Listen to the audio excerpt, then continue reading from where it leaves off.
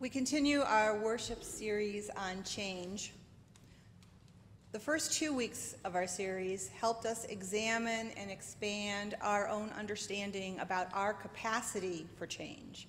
We were reminded that the Creator God made us for change and we're being made new, new always from the inside out by the ever creative Spirit of God within us.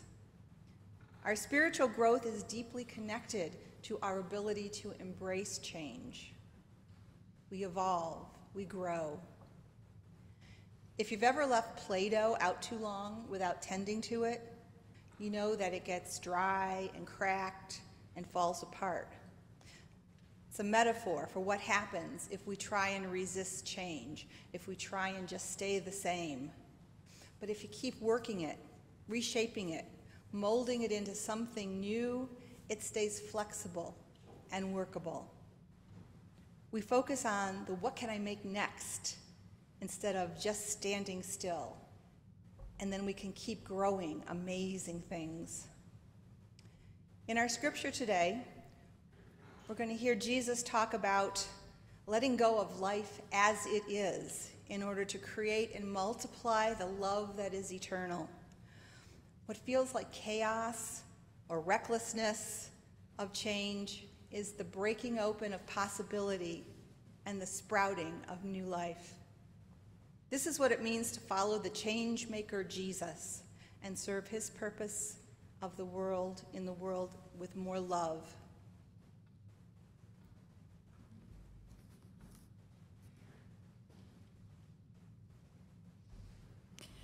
Please stand as you are comfortable for the call to worship and prayer. We come to this place of prayer.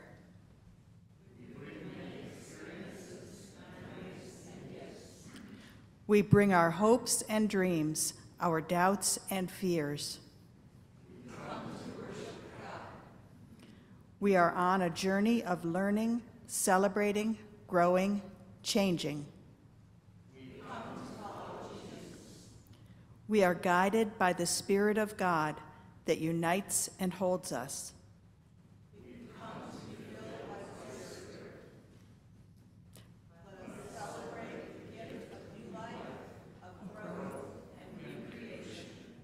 Amen. Let us pray. Breaking open, God, you call us to let the seeds of your love be planted anew in us again and again. Open us to letting go of how we think things are and allow us to release allow us release as we are broken open into new life. Calm our fears and animate our spirits for this time of discovery. Amen.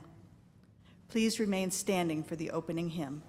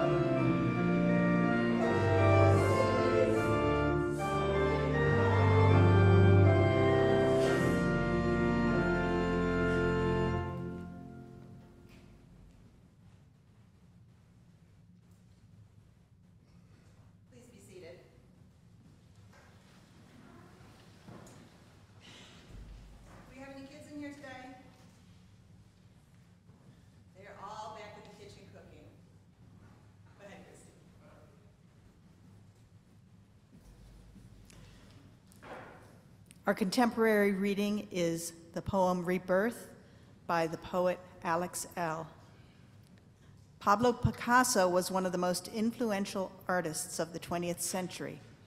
This is not because of one style, although, although he is famous as the father of Cubism, but because he had several artistic periods during his life, and he was constantly changing, innovating, and pushing himself to discover new expressions of art.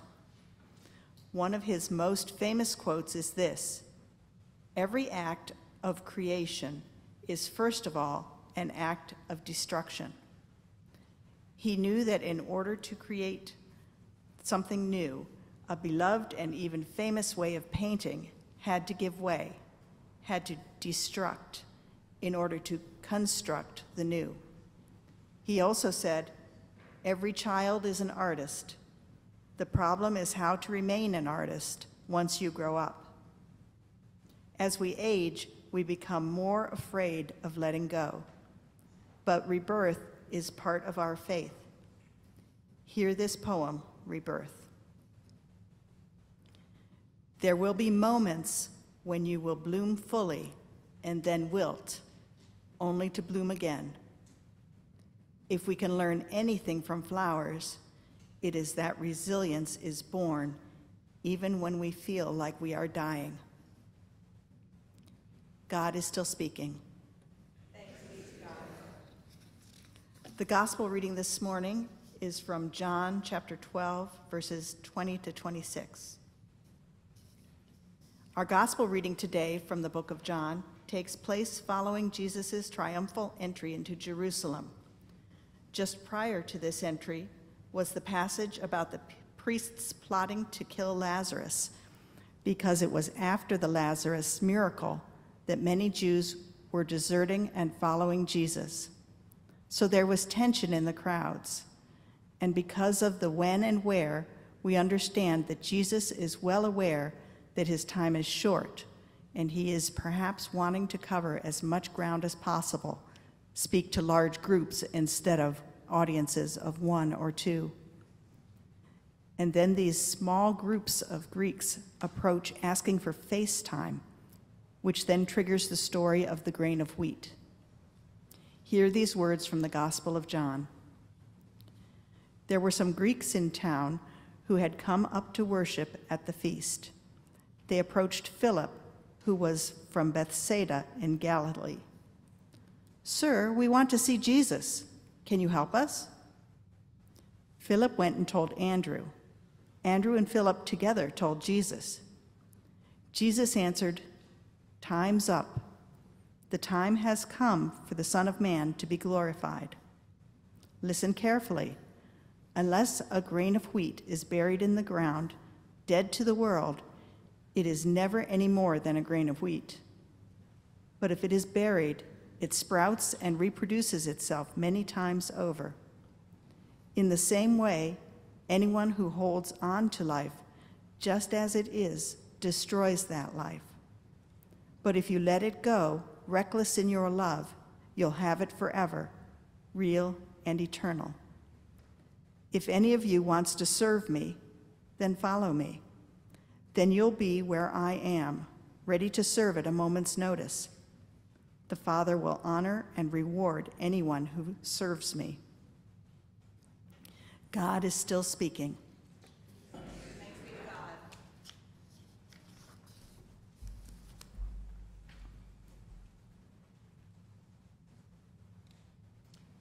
Let's pray. Oh, gracious and holy God, give us diligence to seek you, wisdom to perceive you, patience to wait for you. Grant us, O God, a mind to meditate on you, eyes to behold you, ears to listen for your word, a heart to love you, and a life to proclaim you through the power of the Spirit of Jesus Christ. Amen. Our scripture today was read from Eugene Peterson's The Message. I favored this reading over the New Revised Standard Version. In the New Revised Standard Version, Some of you might re- remember the words, those who love their life will lose it, and those who hate their life will keep it for eternal life. I always struggled with that language because I don't necessarily hate my life. What does that mean? He goes on, Jesus goes on saying, Whoever serves me must follow me. Whoever serves me, the Father will honor. Well, I get that. But that loving and hating life, losing it, keeping it, always kind of befuddled me. But Eugene Peterson helps clarify this with his paraphrase, where he says, Listen carefully. Unless a grain of wheat is buried in the ground, dead to the world, it's never more than just a grain of wheat. So if you're holding a grain of wheat in your hand, that's all it's ever going to be a grain of wheat. And he goes on, but if it is buried, it sprouts and reproduces itself many times over. In the same way, anyone who holds on to life just as it is destroys that life. But if you let it go, reckless in your love, You'll have it forever, real and eternal. So holding on to life as it is, doomed. But if you let it go, you'll have it forever, reckless in love. That speaks to me. Today, in our worship series about change, we're talking about how sometimes we have to let go in order to make room for something new. Let go in order to change. And that can be scary. In the movie Frozen, uh, Elsa is a queen who has special powers to create ice and snow, but she's afraid of the powers because she's afraid of hurting people, so she hides away so she won't have to use them and she won't hurt anybody by accidentally freezing them. But finally, with the help and the love of her sister Anna, she sees that she must use her powers for good and save the people of her hometown. Today in our scripture, Jesus says we can't always hold on to the old ways and we can't be afraid of letting go. That song, remember? Let It Go from Frozen? It's all connected there, all right? Yeah. Someone wanted me to sing it. No, no, no, no, no, no, no. We're not doing that today.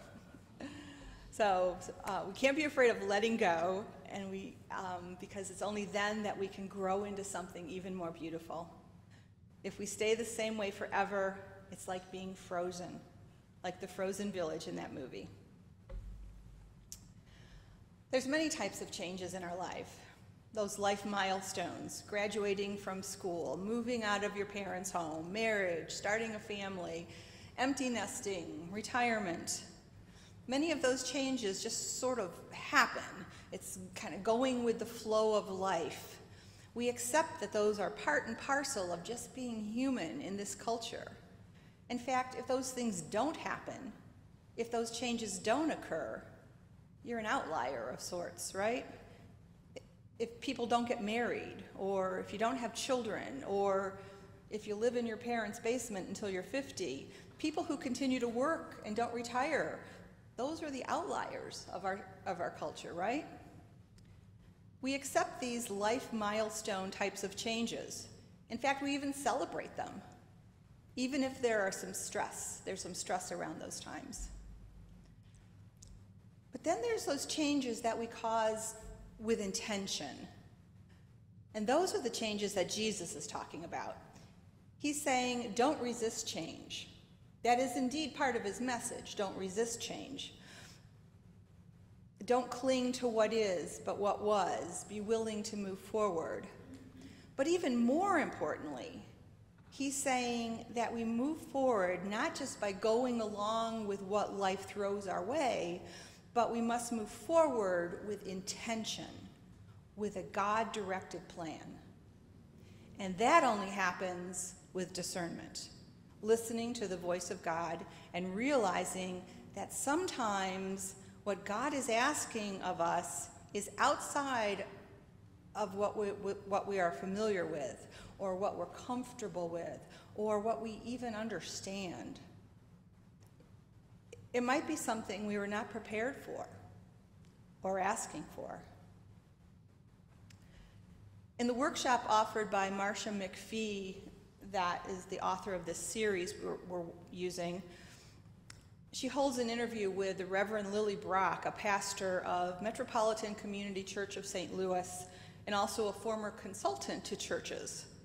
She offers some ideas about the cycle of change and speaks of different zones, the red zone being one that is filled with fear and anxiety. But she reminds us that when we are anticipating changes, instead of moving to that red zone, that we pause and we take a few breaths and a few steps back and let it go, as the song says. We allow ourselves to slow down and listen. And then we are more likely to have a breakthrough rather than a breakdown. As Jesus shared, growth comes out of the dark and fertile earth, out of a space that is undisturbed, in order to hear the call and guidance for growth and new creation. So, by moving into this space of stillness, we can seek the light. The light that's a metaphor for knowledge, for wisdom, for hope. We can grow into that light. But when faced with change, the most difficult thing sometimes is to do nothing, right? To be still. We're often drawn into this reactive posture, immediately assessing and often resisting, but going into some motion, some action. And that's just the opposite of what Jesus is telling his disciples in this farewell address. In this story, he is saying goodbye to his disciples with the understanding that they are the new growth they are what will emerge from the seed. They will need to be still and then show the new growth, the new creation. So, yes, it's about Jesus' death, but it's also, and more importantly, about what's going to sprout after his death, what will carry on. Those parting words of Jesus to his disciples, what feels like death and destruction, what might feel like loss, will not destroy us in the most important ways. I learned about loss and letting go early in my life from an older cousin. I was about 12 or so, and my older siblings had been gone for years from our family home. Uh, and I already had several nieces and a nephew, and so they were already starting their families. My mother's sister and family came to Cleveland for a summer while they were in transit between my uncle's assignments with the Department of Agriculture. One of my cousins, about six years older than me, spent a great deal of time with my family and me. He became that big brother figure, and what a joy I felt with his acknowledgement and relationship and attention. And I wasn't alone anymore. But as summer came to an end, he was going off to college. We took him to the airport. In those days, you walked with your people right to the gate, and then you stood in the window and you watched the plane leave. Remember those days? Some, some of us, yeah. And as he was readying to board, tears started streaming down my face. And I was just suddenly so embarrassed by this open display of sadness and yes, some anxiety because he'd become this older relative on whom I could confide and depend, and the sudden awareness that I was going to be alone again. I ran into the bathroom until the plane was gone. Later, I sent him a note apologizing for my abrupt exit, acknowledging that my tears and embarrassment, uh, my open display of tears, his response to that letter has stayed with me to this day. He said, with his family moving so much, he had to say goodbye many, many times. And each time he had no idea if he would ever see that person again, but reflected on the time they had together and what gifts that time brought him. And then he went on to share some of the memories of our own summer fun. He reminded me that I wasn't alone, but was surrounded by many who loved me, even if they weren't necessarily in the same house. And I've managed quite well up to then, and I was dealing well with my occasional periods of solitude. But in closing, he counseled me life will bring many changes, some happy, some sad, but each one offers opportunities for growth and live into the change. Let go of that fear and anxiety and grow into something even more beautiful. Letting go and listening to how God uses those moments. Remembering those words still brings twinges of emotions for me. Such a wise young man he was. Everything changes. We all change, and we all will continue to change. But the real challenge is pursuing this change with some intention. That's what Jesus was talking about. It involves letting go of old expectations so that we might make way for new narratives about our lives or our church. Such new narratives can shift our experience into one with more lasting vitality. Jesus needs to be the center of this narrative. He knows that in God's reality, to change is just the beginning of that next story. I attended a lecture recently, and the lecturer cited some data that offered that in this era that we've just lived through in this church, these years since post World War II until perhaps the mid to late 70s, it was a time of unprecedented growth in churches. And that period of time is actually the outlier. That period of time is actually the exception to what church has always been and perhaps what will be in the future. That time of exponential growth, that time of defining church as how many people we had in the pews, um, that time of many kids, many families, 30 people in the choir. You've heard people talk about those memories, right? So now we're moving back to a more typical type of church involvement. The problem, most of us here grew up in that era of exceptional church, and that's what we know. That's what we think is normal. And now facing this idea of change of how we do church is kind of a, it's a bit challenging and even anxiety provoking for many. Change. But we initiate change often in other parts of our life, right?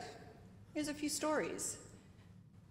Story of Brad Gold. He's 72 now in Los Angeles. He says when he got laid off from a management position with a struggling restaurant chain, chain he knew he wasn't going to find another job. So he opened his own restaurant at age 53. And at age 72, it's still thriving. Scott Schmerin in St. Charles, Illinois, 40 years old, struggled with obesity all of his life. He lost and kept off more than 180 pounds, and that was 15 years ago, and he's still thriving. He didn't want to spend his whole life being sad, depressed, and obese. He embraced change. And then one that I am familiar with, Allen Klein in San Francisco, who lost his wife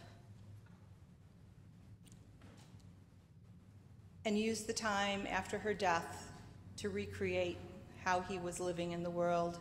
He decided to use what was important to her. She enjoyed laughter and humor enjoying life. So he wrote a book. His book, The Healing Power of Humor, is now in nine foreign language translations. People can change with intention. People can embrace change. And there's my friend Tim. I've talked about Tim before, and I have Tim's permission to share this story. He helped script it out a little bit for me. He struggles with a great deal of anxiety, but they originate from the way he experiences the world as a result of being on the autism spectrum. Tim has a very hard time with change. Anticipating new ways of doing things or new tasks brings on these waves of anxiety that have rendered him near crisis mode on many occasions. Efforts to get him to consider alternative treatment options were unsuccessful. because that would mean change. He would rather cling to this life as he knew it than dive into this new and unknown process.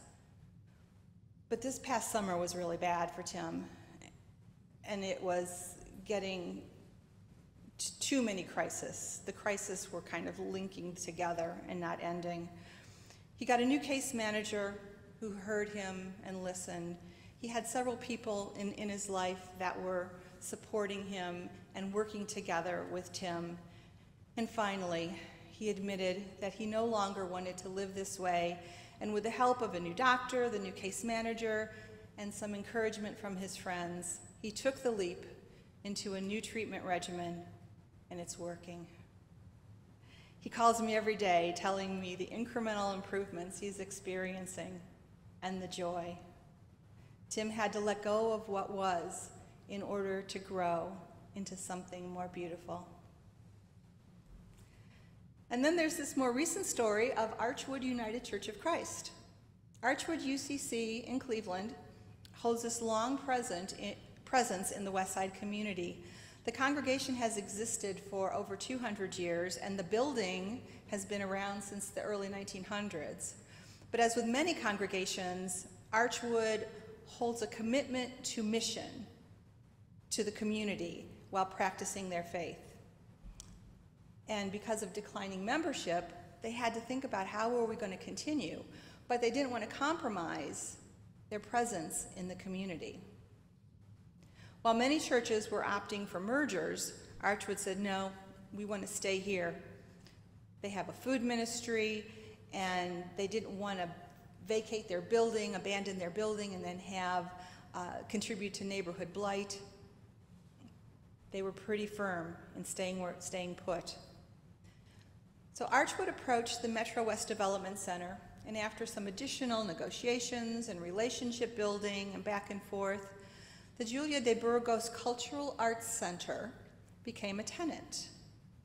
The Cultural Arts Center is a nonprofit community center with a mission to serve Latino families and artists through social and cultural programming. The church buildings had everything they could want for their culturally minded organization a large recreation room, a kitchen and classrooms, a party hall, plenty of storage. And so, after Director Leticia Lopez got approval from her center's board, it began leasing properties from Archwood UCC in 2018. Here's a picture of some of the space that they're utilizing in the church. It's just so joyful to me. It's just a wonderful space. Director Lopez said that since becoming Archwood's tenant, their organization has grown rapidly so much that they are, they're hiring new staff to increase their capacity to serve the community. Archwood UCC and the center have had a great relationship since the get-go because the church has always been supportive of the center's mission and has given them plenty of liberties as tenants. Moving into the space was risky for the center, the director says, because they were used to small spaces. And here there was much more financial responsibility. But they had to take the risk and grow, right? And once they moved, everyone saw the growth that came with the building, and they've tripled their list of community partners. It's just really amazing. So, this past summer, ownership of the building was transferred to the community center. And Archwood now is the tenant. Archwood continues in their space with a vital congregation and continues with their community mission focus. The director, Leticia Lopez, says The world changes, we all have to evolve, and what's challenging is that we have to ensure that we are attracting everyone. I love that.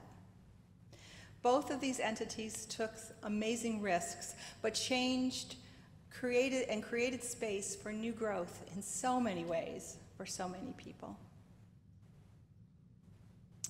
They allowed the seed to be planted in the ground, to be still and to discern, then new growth appeared. And in both entities, church and community, the missions are thriving. In our scripture today, Jesus asks us to let go of life as it is in order to create and multiply the love that is eternal. What might feel like chaos or recklessness with change is the breaking open of possibility and the sprouting of new life.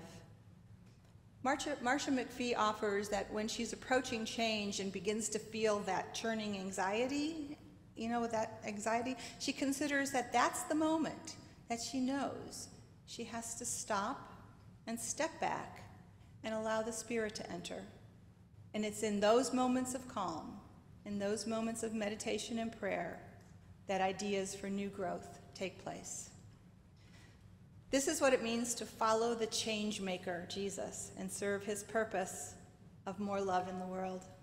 Jesus, the change maker. We've heard of Jesus as Savior, as Lord, as social justice provocateur, but change maker really suits his overarching mission, right? Jesus calls us to let go of the old expectations and let them fall away, to recognize that he calls us to change. And we must approach change with intention, with stillness, with discernment, and most importantly, with God. So let us live into this new creation that God offers us every day with joy and anticipation and hope. Let the people say, Amen.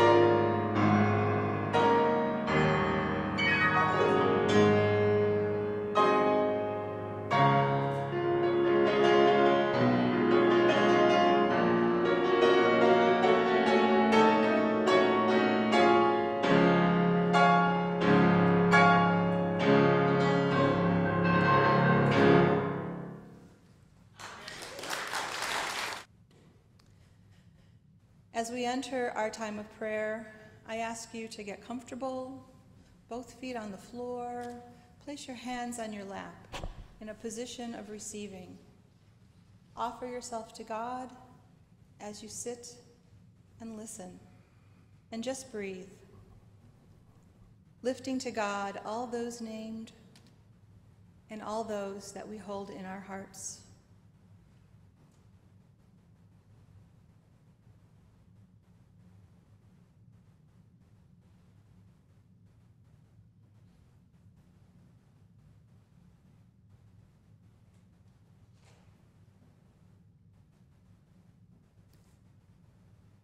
God of transformation, we come today with hearts and minds focused on change. We ask to be shown the way forward, how we might become something new, something better. But change can be hard and sometimes not done with intention. Sometimes we encounter unexpected loss, tragedy, so we lift in prayer those who have experienced change not of their doing, those who have experienced change in their sense of identity or their work. Let them know they still have value, no matter how unsettled their circumstances. We pray for those who are changed as a result of health conditions. May they feel the healing power of your love and care. May they know that even in this time of distress, and this feeling of brokenness, they are whole. For those who experience a change in their sense of home, may they be welcomed into a safe and vibrant community of belovedness. And for those who are experiencing changes in their lives, conflicts with family, may they find strength and courage to move forward, knowing that you hold them close with your love and care. And for this community, as we discern our own path forward, as we listen to each other and to you, dear God, we pray that we find our way to change with intention as you ask us to, that we stay relevant and vibrant and invitational as we continue to follow the one who is the way, the truth, and the life Jesus Christ, who taught us to pray. Our Creator, who art in heaven, hallowed be thy name. Thy kingdom come, thy will be done, on earth as it is in heaven. Give us this day our daily bread, and forgive us our trespasses as we forgive those who trespass against us. And lead us not into temptation, but deliver us from evil. For thine is the kingdom and the power and the glory forever. Amen.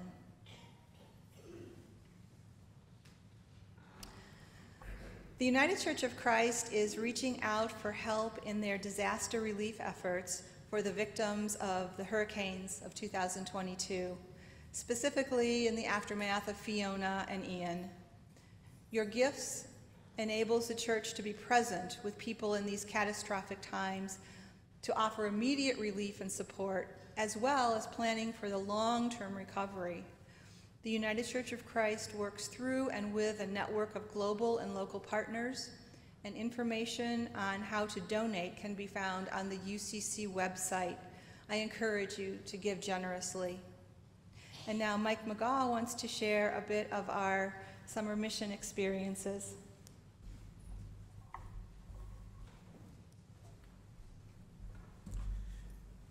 Thank you, Sue. Uh, many of you will recall the ferocious tornado outburst that destroyed uh, large swaths of houses in an area northwest of Dayton in May of 2019. Dayton is still rebuilding from that devastating storm, and uh, this church's Middleburg missionaries were in Dayton in July to help. The vast majority of houses that were destroyed in the storm were lower income rental units and the landlords chose to redevelop away from this use. A charitable organization in Dayton stepped in to take the lead in responding to this disaster by implementing a, a really novel idea. They would resettle these displaced folks not by finding alternative rental housing, but rather the organization would identify stable neighborhoods and then redevelop abandoned or distressed properties and help those displaced by the tornadoes to get into a position of being able to qualify for a mortgage and be able to purchase these redeveloped homes, offering a sustainable future of home ownership. Eight of our missionaries spent a long weekend, Saturday through Monday, at one such property, and we had another person join us on Saturday to help out as well. This house was in the last stages of redevelopment, and the organization running the program was going to engage a commercial contractor to finish the work needed to make the house uh, ready for sale. But we accomplished quite a lot. We removed and replaced exterior windows, installed kitchen cabin, cabinetry, and then caulked, mudded walls, and painted most of the rooms in the house. This was just in a few days. This was, uh, there was much less to complete uh, and, and therefore cost for a commercial contractor when, by the time we left. We could not do this, though, without the dedicated uh, Middleburg Missionaries crew um, that came that weekend, and the hospitality of the church who housed our folks while we were there, and your generosity through the mission giving uh, that you offered to cover our, uh, that covered our expenses that made the project happen. Our church provided $235 to support this effort, and you can see what an outsized impact it had. Thank you for your kind support.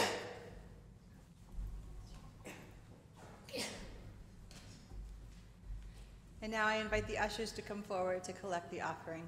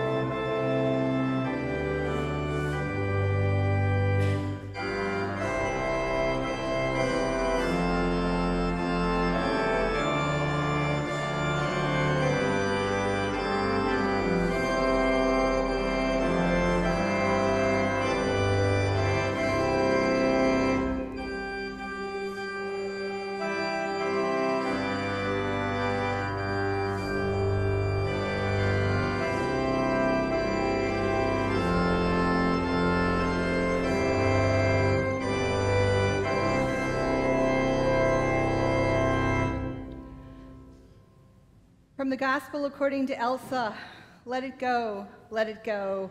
When I'll rise like the break of dawn, that perfect girl is gone. Here I stand in the light of day. Let the storm rage on. The cold never bothered me anyway. Remember that perfection is not the point, but growth, which needs both light and rain. Go into the world knowing that the potter God is still shaping and reshaping you as you were made to do, that the teacher Jesus is inviting you to a change of heart, making it all so very possible, and that the adventurous spirit is luring you to more play and curiosity in your precious life. Go in peace, stay in courage. Amen.